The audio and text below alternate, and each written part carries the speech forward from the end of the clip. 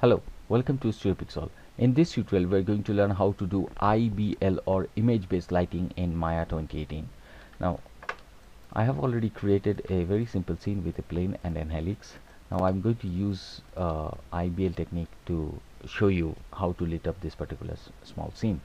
So, I've used a uh, standard material right now, but we are going to use uh, an Arnold uh, material also. So,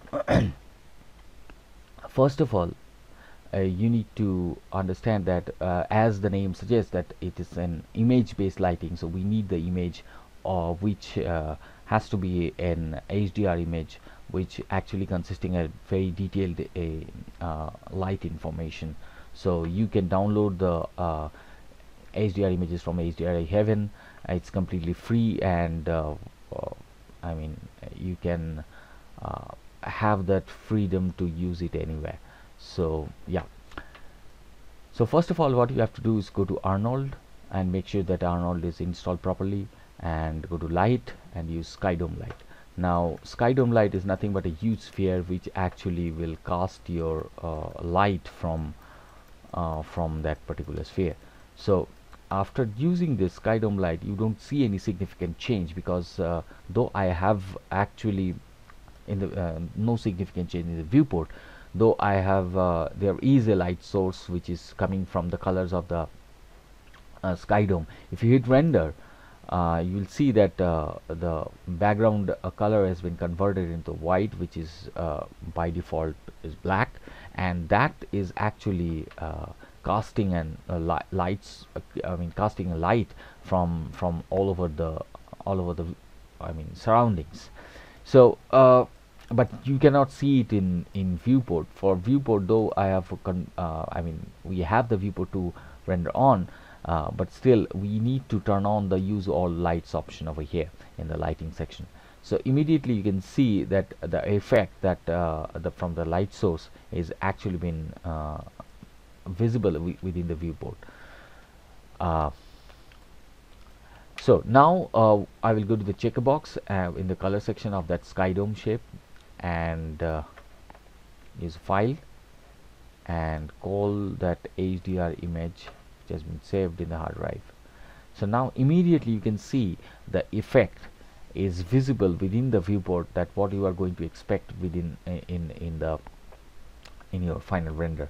Though it is not an uh, absolutely accurate because if you hit render you will see uh, a little difference in the uh, uh in the final output and the viewport.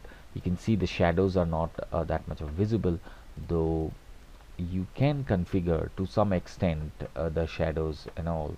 But still I would not recommend to believe the 100% you know uh, the viewport output. But yes you can get a very good amount of uh, uh, idea that uh, that how the objects are going to behave uh, uh, in the final render.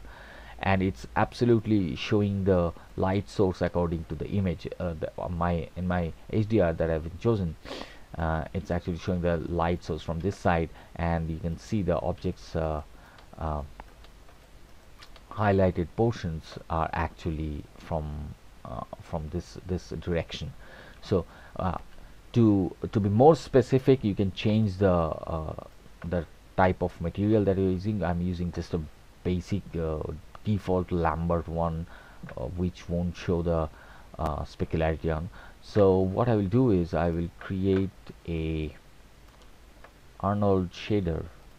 I'll go to the Hypershade and within the Arnold shader I will use this one it's say standard surface material and assign material to selection. I'm not going to show you the details of the Arnold surface that I will cover in different tutorial. Okay now this is the one. So I'm cranking up the metalness and you can see immediately uh, it's actually um, reflecting the HDR image uh, that I've been using. So you, can you can actually um, use another option called roughness. If you increase the roughness this uh, uh, reflection will not uh, will not be 100% sorry. Yeah. So by default it's 0.1 if you if you decrease it to 0 it will be a 100% uh, reflective uh, object. And you can see this uh, this is the window that that is actually over here. So this is uh, this is actually taking up all the lighting information from the HDR so if I increase the roughness a little maybe yeah. So now you can see it's a, it's looking like a brushed I mean used metal which is not a very super smooth or 100% reflective. So if you hit render now now you can see there will be a lot of definitely a lot of changes because you can see the reflection has been clamped down a lot in in in the render rather than uh, uh, in the viewport. But yes definitely I can assume that what kind of specularity we are going to see uh, in the final render. And uh, if you a little bit more roughness then I think it will gonna work yeah. You can see this uh, right now we are going uh, we are getting a, a lot more a similar result. But yeah definitely in the viewport you won't see the final result uh, absolutely final results. But uh, you can uh, assume that what kind of uh, output that we we are going to get. So this is all about the the IBL where you can use this technique to blend in your model within a particular environment or use this light to make sure that your model is actually blended in in a uh, realistic environment. So hope you enjoyed this. Thank you very much. And please subscribe to our youtube channel and like this video and follow us on mm, facebook and twitter. Thank you very much